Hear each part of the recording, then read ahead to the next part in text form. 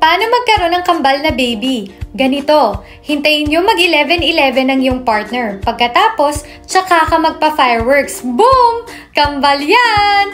Joke lang po! Linawin muna natin to. Alam ko marami kayong nakikita or nababasa na paraan kung paano magkaroon ng baby girl or baby boy. Pero tandaan, hindi pa po ito napuprove ng science. At matuto tayong tanggapin kung ano man yung ibibigay sa atin ng Panginoon.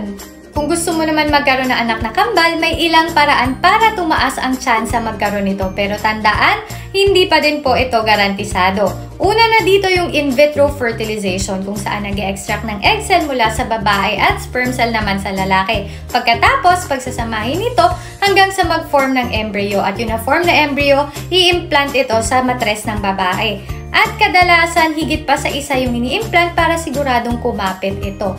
Kaya, tumataas ang chance magkaroon ng kambal na anak. Sunod naman ay yung pag-take ng fertility drug sa mga babaeng hirap magbuntis. Ito po ay tumutulong para sa ovulation.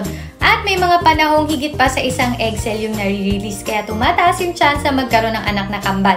Pero tandaan, ito po ay nire-reseta kaya dapat kumonsulta muna kayo sa inyong OBGYN. Ayon sa ilang pag-aaral, maaari ding tumaas ang tsansa magkaroon ng anak ng kambal ng mga kababaihang nagbubuntis sa edad na 30 pataas. Ito ay dahil mas mataas ang tsansa na mag-release sila ng higit pa sa isang egg cell during ovulation.